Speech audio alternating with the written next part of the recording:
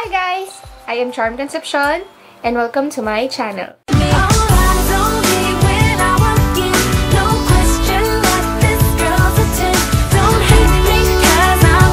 So ayun guys, for today's video, I will be doing a try-on haul.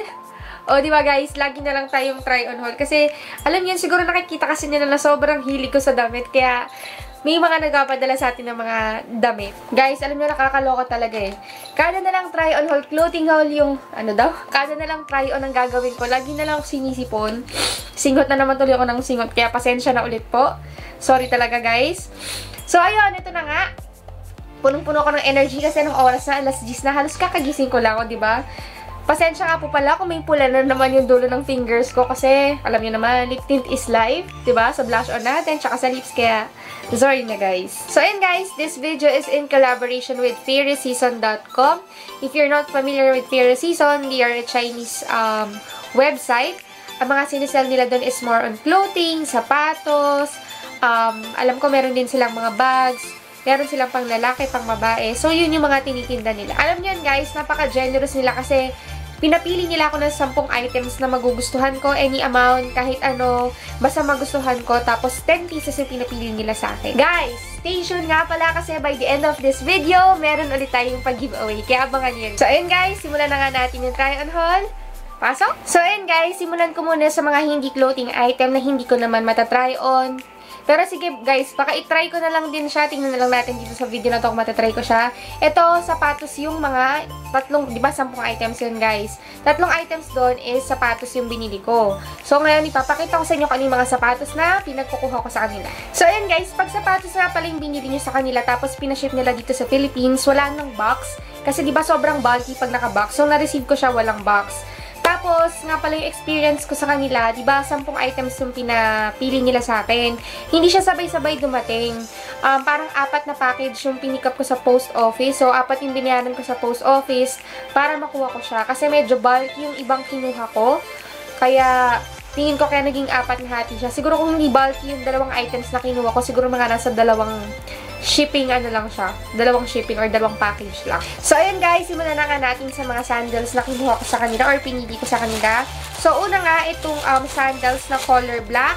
Ang tawag nila dito ay Solid Cross Zipper Heeled Sandal. So, this one is $20.29.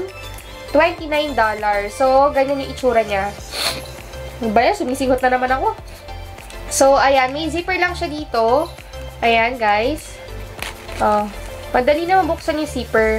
Kasi yung design niya sa harapan, ganyan. Ayan. May tahi siya. Hindi ko lang alam kung totoo nakatahi siya or design lang yung tahi niya. Pero mukha naman siyang matibay. Ito, nagamit ko na to nung umalis ako nung nakaraan. Hindi naman siya masakit sa paa. Tapos, yung size niya, ang binili kong size is size 7. Kasi size 7 talaga ako dito sa Philippines size.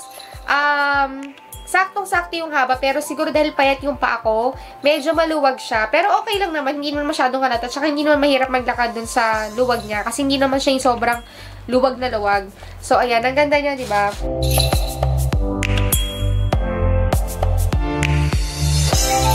So, next naman na binili ko is sandals din. Or binili na lang. Hindi ko nga pala ito binili. So, yung pinili ko is sandals. Ang pangalan naman itong isa na to ay... Let's check kung ano yung name niya. Sobrang ganda nito kasi pwede siyang mga pang-events. Summer Solid Ankle Wrap Heel. So, this one is $24.99. So, ito yung itsura niya. Sabi sa inyo, hindi siya naka-box eh. Naka-plastic lang siya. Ayan! Bongga. So, ito yung isa. Ano siya? Swed or gamusa yung pinaka tela na ginamit sa kanya. Tapos, yung heels niya, siguro this one is nasa 4 to 4 and a half inches. Ganun kataas. Sa size 7 din. Ito, saktong-sakto lang sa akin. Ayan yung itsura niya, guys, oh. Ayan. Pero to alam nyo, guys, nakikita ko sa Shopee, ibang products nila. Tsaka sa mga nag, um, seller sa Facebook. Tapos, meron siyang strap na mahaba na pwede mo siyang itali-tali or ipaikot-ikot sa pinaka binti mo. Ano ba yan? Bobo na naman ako. Ano ba yan? Alam niyo guys, ilang linggo na to, makalipas yung pinil ko ng isang hotfix clothing na haul ko, yung mga smock tops. Pero ito na naman, kada na lang talaga nagka-try on haul ako, sinisipon ako, nakakaloka. So, ayun guys, meron siyang garter dito sa kabilang side para siguro kung masikip sa paa mo or masyadong fitted, stretchable siya at para hindi rin siya mahirap isuot. So, ayan, ang cute nito. Hindi ko lang alam kung matibay siya. Kasi dito sa area na to, meron na ako nakikita nakaangat na portion. Pero ito naman walang problema dito kasi tago naman to. Tsaka ito pwedeng dikitan. Ayan guys, oh. Kita nyo ba? Ayan. So, pwede naman siguro itong dikitan. Sana hindi siya masakit sa paa. Ito hindi ko pa natatry gamitin. Ayan, ang cute.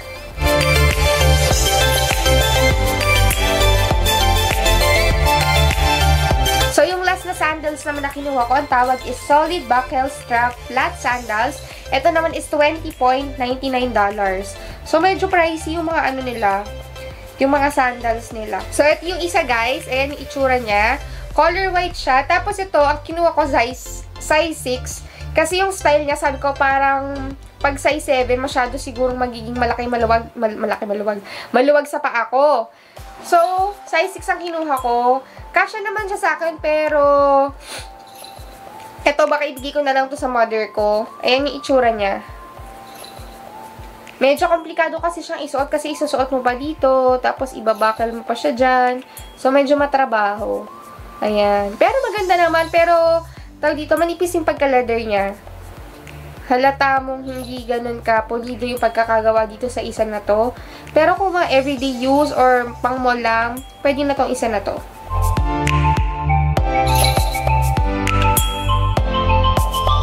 So, mag-proceed na nga tayo sa mga clothing items na binili ko sa kanila. Um, yung iba dito dress, yung iba dito mga trench coat. o, di ba guys? Actually, guys, meron ako mga kinuha dito na pwedeng pang travel. Kasi this year, we're planning to travel kami ni Jowa with my friends and also next year. So, meron kaming mga pinaplanong travel. Kaya, sabi ko, pag dito ko pa binili sa Philippines yung ibang item na yun, medyo mahal. Kaya buti na lang, dun sa website nila, meron nun. Kaya dun ko na lang kinuha. Kakasing ako, feeling ko wala na ako makeup sa ganito. so, unahin ko muna yung mga dress na binili ko sa kanila. Etong isa na to ay, ano bang pangalan nito? Sobrang ganda nito, guys. So, ito nga, guys, itong dress na to, ang pangalan niya is Solid Lace Floral Spaghetti Strap Backless Mini Dress. So, this one is $20.29. Sobrang ganda nito, guys. Hindi ko akalain na ganito yung quality. Akala ko kasi yung mga item nila is, dahil nga, um, China, iniisip ko baka parang kinopya lang nila yung mga designs or tama yung mga designs dun sa mga ibang brands. So, hindi ako nag-expect ng mataas dun sa ipapadadala nila. Kaya tuloy yung dumating sa akin, sobrang natuwa ako kasi ang ganda-ganda ng quality. So, ito yung dress, guys. Ayan. Diba? Tingnan nyo. Tsaka yung lace niya, sobrang ganda ng lace niya, guys. Parang mamahalin. Tapos, yung likod niya, meron siyang criss-cross na ganyan. Backless siya. Sobrang ganda nito, promise. Ayan o. So, ito, mag-gladiator ka lang na white sandals or kahit black sandals. Bonggang-bongga to, guys. As in. O, diba? Favorite as in. Sobrang ganda nito. So, sobrang sulit nito. Tsaka sobrang natuwa ako na pinurchase ko tong item na to. Kasi isa to sa mga naging favorites ko.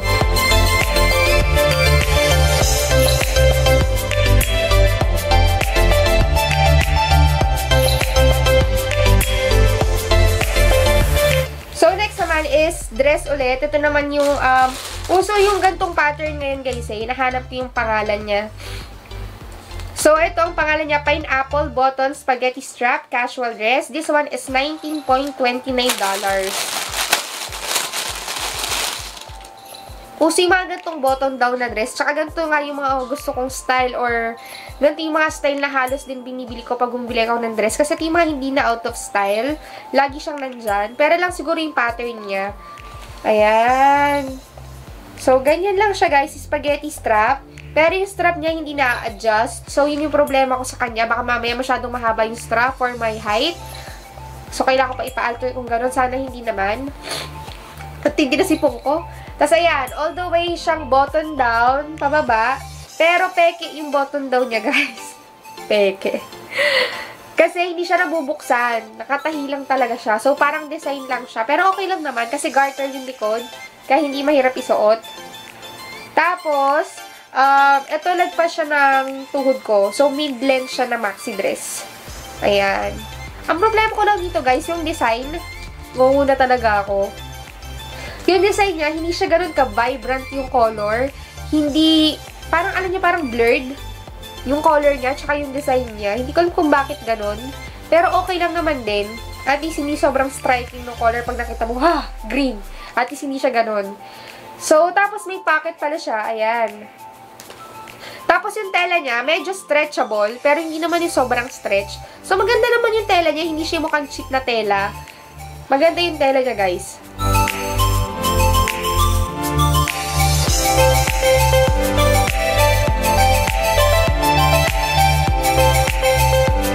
Next naman na dress na binili ko, guys, ito sobrang saya ko rin. Kasi nga, halos kapares siya nung style nung sa pineapple na dress.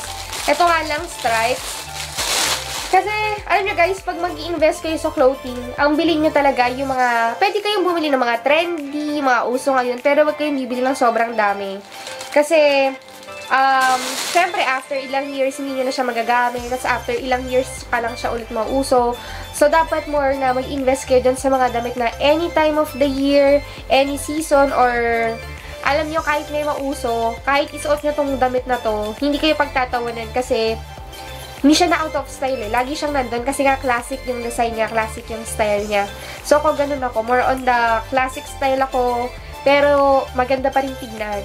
So, ito, ganun din siya, button down na dress, tapos stripes lang. O, ba diba? Ang ganda nito, guys. Ayan. Ito, totoo na yung buttons niya. Talagang natatanggal yung buttons. Ayan. Nabubuksan talaga siya. Pababa, hanggang baba. Tapos, ang maganda pa dito guys, na-adjust yung straps. Hindi siya kagaya nung isa kanina. Ayan, na-adjust siya. Kaloka. Tapos, garter din siya sa likod. Ayan. Tapos, uh, may pocket din siya dito sa harapan. Tapos, ganun din yung length niya. Magkasing haba sila. Pero ito iba yung tela niya. More on parang... Ano ba tela nito? Hindi ko alam tawag kasi sa mga tela, guys, eh. Pero kung isa stretchable ito, hindi. Hindi siya na-stretch. So, ang ganda rin ito sa black sandals, white sandals, or uh, basta yung mga gladiator style na sandals. Ganun yung magagandang ipapartner niya sa mga gantong dress. Ang ganda nito. Ito nga pala ang pangalan. Sorry na. ang pangalan nito is... Asan ang pangalan? Ayun, stripe button, spaghetti strap casual dress. This one is $20.49. Sorry, guys. So, ayun, $20.49 yung presyo niya. So, maganda to. Tsaka ang ganda ng buttons kasi malalaki.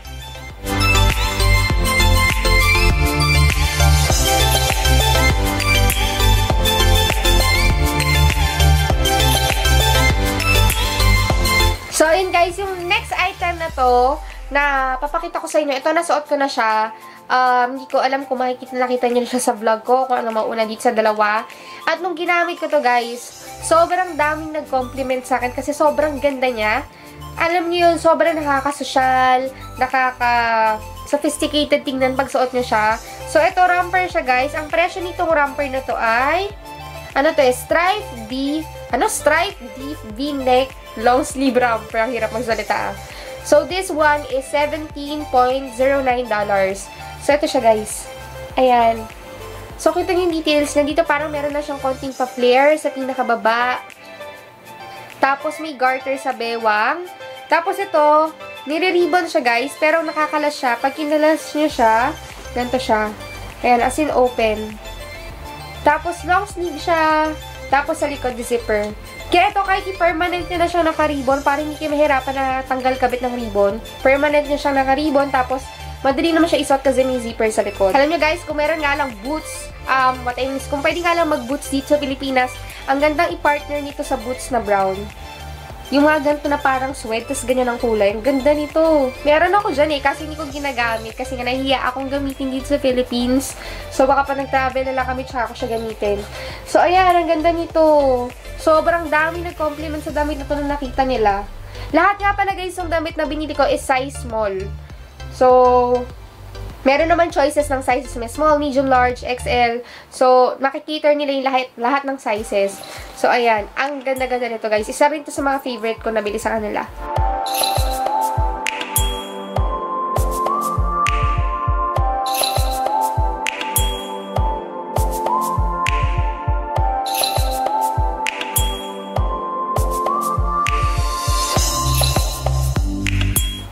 So, yung last three items, guys, ito yung plano ko sanang gamitin for the travel na sinasabi ko sa inyo. Ito, unahin ko muna itong medyo simple. Ito, medyo hindi ko siya nagustuhan kasi meron akong mga bomber jacket dito na makapal. Tapos, um, parang tatlong layer ata yung isang bomber jacket ko dyan na pink. Ito kasi nung binili ko siya, akala ko ganun din yung quality niya. Akala ko kasing kapal siya ng bomber jacket ko dito na binili ko sa, I don't know if sa SM ba or kung saan ko binili. So, ang pangalan pala nito guys is um, Solid Zipper Long Sleeve Jacket. So, this one is $17.29.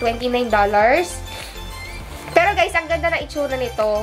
Tsaka, pwede na siya pang dyan-dyan lang. Kasi manipis. As in, sobrang nipis. May pagka-sitro nga siya guys. Hindi ko alam kung makikita nyo. Pero, hindi siya makapal. As in, isang layer lang yung tela niya. So, hindi siya pwedeng gamitin pang travel. Yung tela nito, pang Pilipinas lang na malamig. So, ganun yung tela niya. So, ayan, may zipper siya dito. Tapos, ayan, may zipper sa harapan. Tapos, ito guys, design lang siya. Wala talaga siyang pocket. Yung tela niya, medyo makintab. Parang alam niyo sa mga jersey or mga jacket na mga jersey. Ano tawag So, yung mga ganun. So, ganun yung tela niya. Pero maganda guys, pati yung pagkakatahe maganda, yung design maganda. Tapos yung size, sakto lang sa akin. Tapos yung zipper, gold yung zipper niya, which is maganda rin talaga. Madali naman buksan yung zipper. Ang problema ko lang talaga guys, sobrang nipis niya. Kasi di ba pag bomber jacket, expected natin mga 2 to 3 layers. Tapos yung iba, yung bomber jacket ko kasi dito meron pang parang foam sa loob. Para talagang hindi tatagos yung lamig. Ito wala. Ayan lang siya. Sobrang nipis.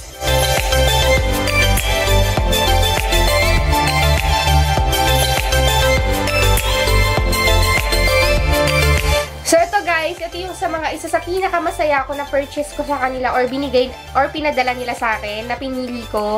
Ito kasi, alam ko, magagamit ko siya pag nag-travel ako. Inisip ko kasi, Nung chinek yung website nila, wala akong masyadong mapiling mga dress kasi nga, gusto ko talaga yung mga classic style, yung mga ganon. So, masaya na ako sa mga purchases at mga napili kong dress tsaka sandals.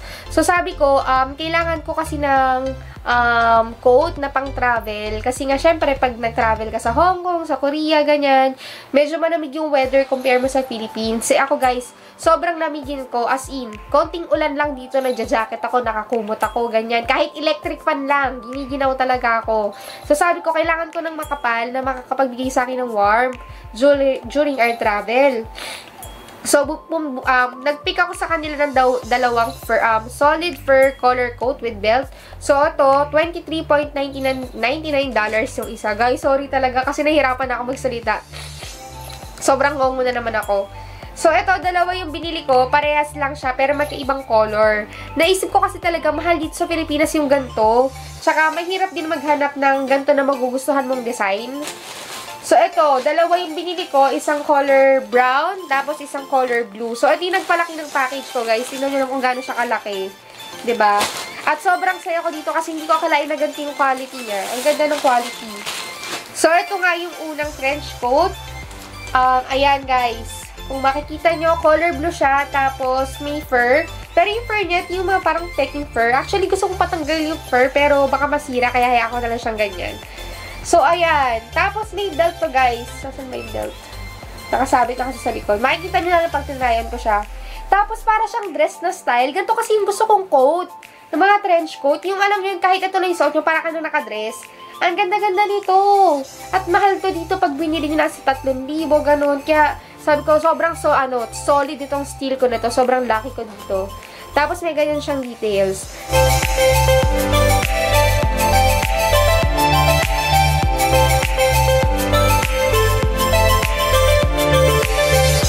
Tapos, isang color, guys, ito. Itong brown. Ayan. Ang ganda nito. Ayan, nakabukas yung isa pala. Hindi ko na isara. So, ayan siya guys. Tsaka makapal siya. Kasi may lining siya. Ayan, dito ko na lang sa yellow, ipa, um, sa brown ipapakita. Kasi, dito, kitang-kita sa isa, hindi kita kasi blue. So, ayan, may lining siya. Tsaka makapal talaga. Kaya, ito, hindi ka masyadong lalamigin. Kailangan ko talaga to pag nag-travel kami kasi nga sobrang lamigin ko. Ayan, ang ganda. Ina-atching na. Loko kasi nagliparan yung ano niya, fiber niya. So, ayun. Alam yan guys, kasi pag gantong um, coat yung binili nyo, kahit hindi na kayo masyadong pumorma sa loob, nakaganto lang kayo, ang lakas na dating tapos naka-leggings lang kayo or stockings kayo na black, tapos naka-boots kayo, bongga na to. Kaya, sobrang happy ko talaga dito.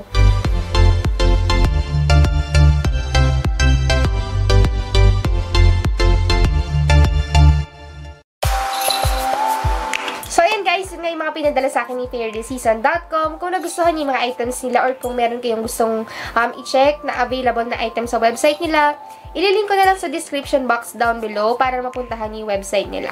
So, ayun guys, i-announce ko na yung giveaway. Ngayon, isa lang yung pag-giveaway ko kasi yung sampung pag-giveaway, pagsasabay-sabayin ko siya sa isang video kasi um, special yung giveaway na yon. So, itong giveaway ko na to is from District 21. Ayan ano siya, tawag dito, surprise na lang nasa loob kasi hindi ko rin alam kung ano nasa loob. Tapos, isang, ito naman, galing sa akin, isang set ng body lotion, shower gel, tsaka hand soap. Ayan. So, ito yung map mapapanalunan nung mananalo. Tatry ko na lang din, guys, kung meron ako maisasamang clothing item dito. Kasi hindi ko maha mahalungkat yung mga gamit ko kasi sobrang busy ako lately. Kaya, titignan ko kung may maisasama ako dito, guys. Kaya, kung yung mananalo man dito, tingnan mo na lang kung may maisasama ako. So, yung mechanics, guys, ganun pa rin. Just subscribe on my channel. Click nyo lang yung subscribe button dito sa baba.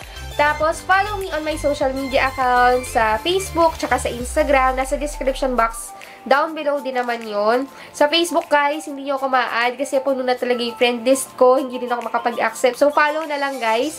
Tapos, um, meron pa lang mga nagtatanong, paano daw pag wala silang Facebook or Instagram lang meron sila or Facebook lang meron sila. Okay lang yan, guys, as long as pinalaw nyo ako dun sa active nyong social media accounts. Pero kung dalawa naman yung accounts nyo, guys, huwag nyo na ipagdamot sa akin. I-follow nyo na ako sa both ah, na social media accounts ko.